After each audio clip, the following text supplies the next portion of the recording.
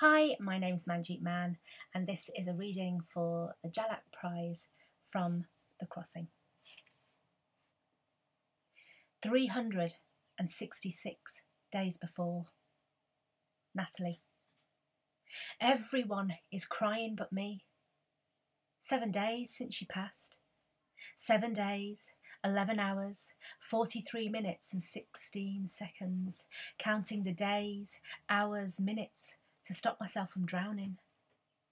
Everyone is crying but me.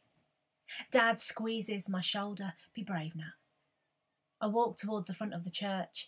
Seven days, 11 hours, 53 minutes, and nine, ten, eleven, twelve. Everyone is crying but me. I'm trying to remember how to breathe, my desert dry mouth, hands trembling. I swallow sand. It feels like an eternity before I find my voice. Everyone is crying but me. Tears stream down Dad's face. He's given up on wiping them away. His voice cracks as he reminds everyone of who she was Catherine, Kate, Kitty. Her laugh, joy for life, mermaid, wonderful mother, beautiful wife, activist, big heart. My mum, Everyone is crying. Everyone. Even me. Sammy. Me and Mama have lain here on the cold floor for hours or seconds. It's hard to know anything right now. I lie next to Baba, his warm hands turned cold. I want more than anything to breathe life back into him. Baba was fearless in a country ruled by fear. I wish I was like you. I would say.